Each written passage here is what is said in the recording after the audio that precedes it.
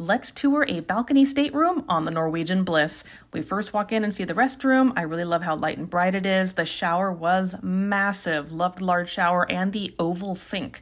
So as we pan back around here to the right, you're going to see that the bed is in the king configuration. You can have this split into two twins by your stateroom attendant if you want.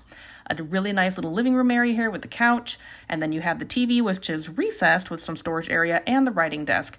Out here in your balcony, you're going to have two chairs and a small table for drinks and snacks, and gorgeous views of the Alaska or Caribbean waters. This couch can hold one or two more passengers, depending if this is a double or a quad type of room. If you look up here on the top, you'll notice that there's no Pullman beds that come down from the ceiling. Your third and fourth guest's to stay on the couch.